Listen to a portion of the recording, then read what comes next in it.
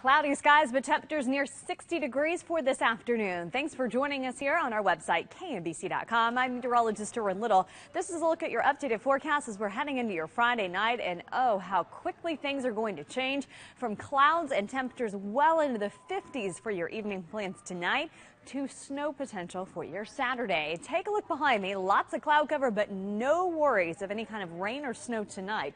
Readings in the middle 50s for your Friday evening plans, and those winds will stay strong.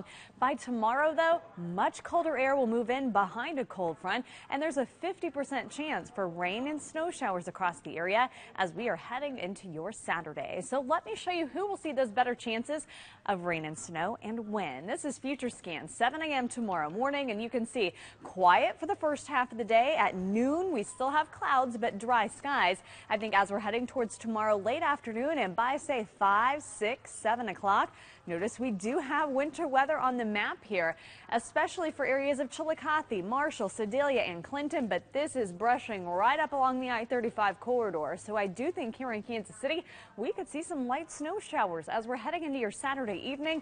They won't last terribly long. Notice they're out of here during the overnight hours Saturday into Sunday, but it could give us a quick dusting to maybe an inch or so for some here in the immediate metro. Take a look. This is the potential snowfall that we may see. Again, areas to the northwestern half of our viewing area likely won't see anything at all, but areas east of I-35, including Kansas City, on the high end, an inch of snow is possible. The farther south and east that you live, two inches for Clinton, two and a half for Marshall, and the same possible for Sedalia as we're heading towards tomorrow evening.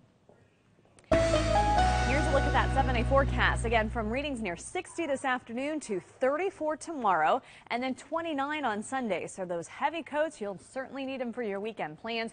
As we're looking towards the beginning of next week, we'll see that warming trend kicking in as we're heading towards Tuesday and Wednesday.